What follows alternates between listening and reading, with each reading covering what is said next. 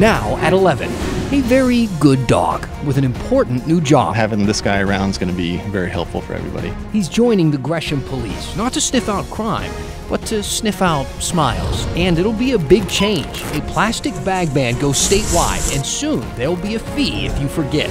And later, was it a kidnapping caught on camera, or all a hoax? And I was looking at people in New York City at Times Square, and you just feel like you're part of something so much bigger. All right, here we go. First tonight, from the East Coast to the West Coast, demonstrators calling for the president, President Trump, to be removed from office. The rallies come just hours before a full House vote. Tomorrow, they'll be deciding on two articles of impeachment filed against the president. Now, we've got the latest for you from Capitol Hill, but we're going to start tonight with Catherine Cook and the demonstrators who showed up at Portland's waterfront tonight to speak out. Catherine? Well, Dan, a lot of people told me tonight that they thought this felt different than any other protest they'd ever been to. They felt more unified and focused on a singular message to lawmakers impeach and remove President Trump. We call for the impeachment and removal of President Donald J. Trump. At Waterfront Park, some used letters to spell it out. Impeach! Remove! Others used fruit. Their message was the same. Impeach and remove. What else can we say? We know that what Trump did was wrong and that he must be held to account. They're calling this night Impeachment Eve a nod to what Wednesday and the House of Representatives may bring. My hope and belief is that the House is going to vote to impeach the president. The House will be in order. The House will consider two articles of impeachment one for obstruction of Congress, the other for abuse of power. Democrats say President Trump solicited the interference of Ukraine in the 2020 election. We know that there are crimes. Nobody is above the law, and we need to make sure that we say that with a loud, clear voice. What do we want? When do we want it? Now! Portland is among hundreds of cities holding so called nobody is above the law protests, including Seattle, Phoenix, and Denver. And just seeing a bunch of people get together and say, we love our country, we love the Constitution, and I am not going to let my kids lose the country that I believe in. If the House approves either article of impeachment, the Senate would hold a trial. Senate Majority Leader Mitch McConnell would be one of the jurors deciding the president's fate. He said he'd work with the White House counsel on how to proceed with the trial. That's not a fair trial. And so we'll be back out here when it's time for that, too. Hopefully, we get some holidays in between, though. For now, they have Impeachment Eve. No one is above the law.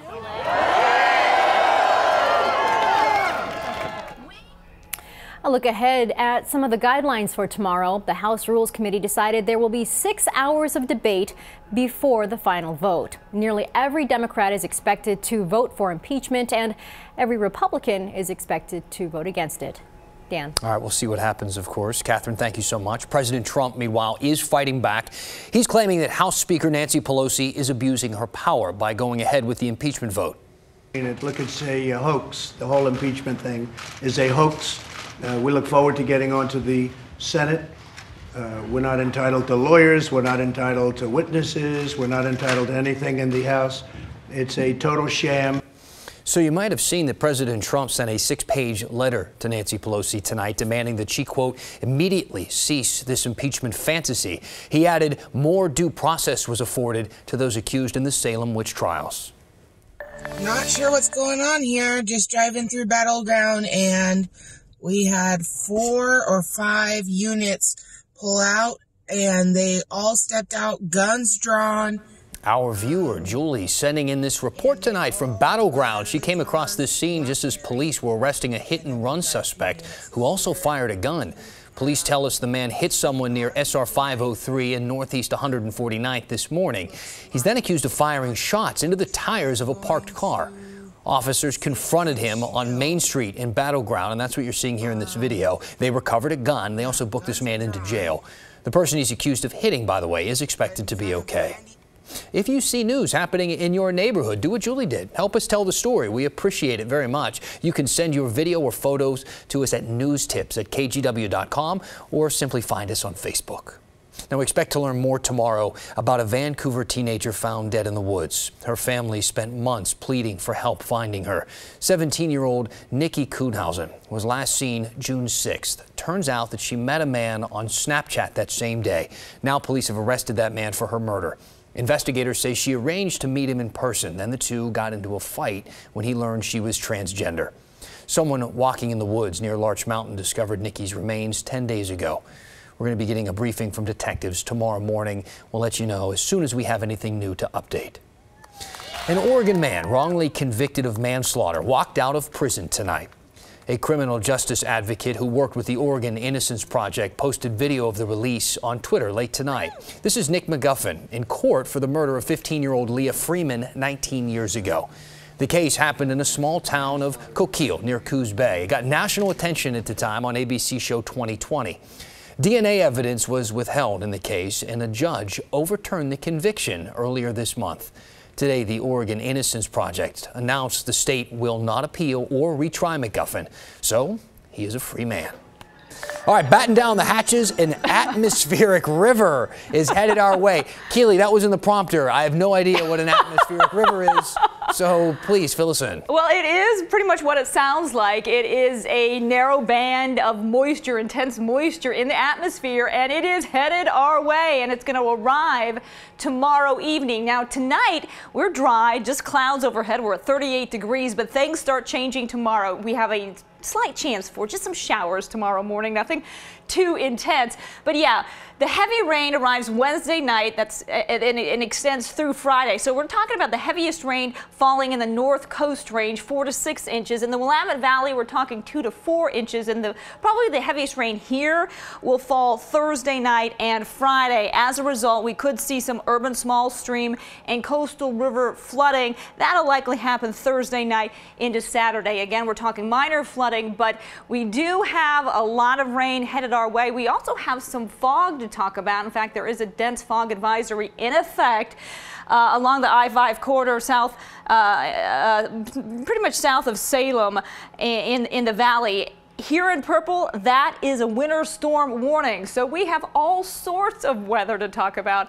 I'll get to that coming up after the break. Lots more in just a bit. Kelly. Thank you. Carry a reusable bag or pay a fee. A planned widen I-5 gets delayed, and Amazon changes the game just before the holidays. Those are our three things to know tonight. Starting January 1st at all stores across Oregon, this is not just Portland, you'll have to use a reusable bag or pay at least 5 cents for a paper bag. Grocery stores and other retailers are banned from using plastic bags. This does not include restaurants, though. This was a bill passed by state legislators last summer. We don't have to tell you, traffic on I-5 around the Moda Center is some of the worst in Portland. The state approved some money to widen the freeway, but today that plan was put on hold. Governor Brown requested this delay, calling for more studies on the traffic impact. She says the project needs to both reduce congestion and greenhouse gases. There's a chance that that could delay your that something could delay your last minute Christmas gifts. Amazon just started blocking some third-party sellers from using FedEx for shipping on Amazon Prime orders. Amazon FedEx's delivery performance performance has been dropping. Some sellers are now having to switch to other more expensive services just to meet those holiday deadlines. The family of a 14 year old who died by suicide is now suing his school district, the county, and 10 students. The lawsuit says bullying and racial harassment led to Deshaun Adderley's death. According to the lawsuit, he was one of only a few African American students at Summit High School in Bend. Between September and December of 2017, his family says he was a target of bullying, racial discrimination, and physical violence. Then, several days before his death, this video here of a fight in the school bathroom was posted on social media. The suit says Deshaun reported this incident to the school, but the school didn't follow through with their anti-bullying policies. The family's attorney says they're hoping this lawsuit changes how bullying is handled in schools. you know, our number one hope and the hope of the family is, is frankly for a, just to put the community and the students and the families of Bend-La Pine in a better educational environment, the one that's free of intimidation.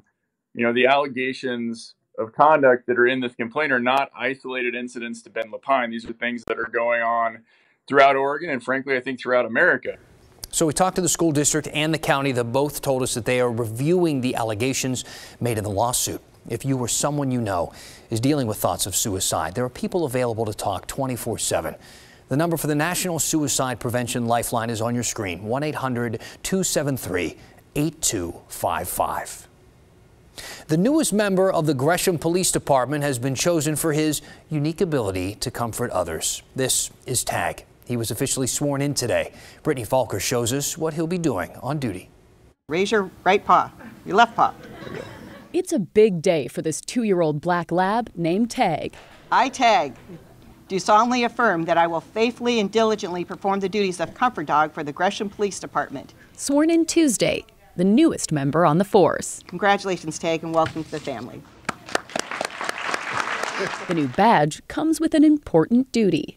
The goal of this program is to provide emotional support during and following traumatic events. Tag's priority isn't catching the bad guys, it's helping the good guys. The national numbers show close to one in four officers has thoughts of suicide, and compared to the general population, there's higher rates of depression, PTSD, and burnout. Said this is a it's a very difficult job. We see some some bad things.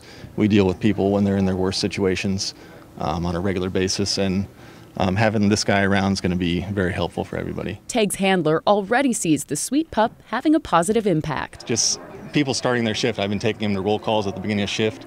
Everybody's just super excited to see him. Tag's duties will extend beyond the department. He'll also be a comfort dog for crime and trauma victims. Give it a kiss. At his debut, he made the rounds, showing plenty of attention and affection. Look at that tail, though. Tag was donated to the department from the organization Guide Dogs for the Blind. He was in training to be a guide dog, but something got in the way. Tags need to um, go outside uh, a little too often, uh, eliminated him from their program, so he decided he needed a career change. Lucky for Gresham Police, that brought him here, because these puppy kisses are a superpower for officers when they need it most. Brittany Falkers, KGW News. So bringing Tag onto the force has been in the works now for a long time, like more than a year. Thanks to generous donations he was given to the department for free, and that included everything, food and veterinary services. In the next few months, he's going to be going through some extensive training, which has also been covered through donations. If you want to help with future expenses, we have a link for you to donate at kgw.com. Next, a frightening kidnapping caught on camera. Now police are saying it might have been made up. Plus, deputies dodge deer in Clackamas County. And later, rewarding good deeds with a trip to the vending machine. Why it's working in one Vancouver school. Hey, I want you to check out all the donations. This is all the stuff that this community has given to the KGW Great Toy Drive. Watch it all being packed up there. I love this fast little fast video here. Uh, we packed up all the toys today. This is the last day to donate, so if you still want to give, you can do so right now from the comfort of your couch. Just go to kgw.com slash toy, click on the Amazon button, and select the toy you want to donate from the wish list. It'll ship right to us here at the station, and we'll get it where it needs to go. You can also give cash online at our website, kgw.com slash toy. Thank you so much to everyone who gave this year.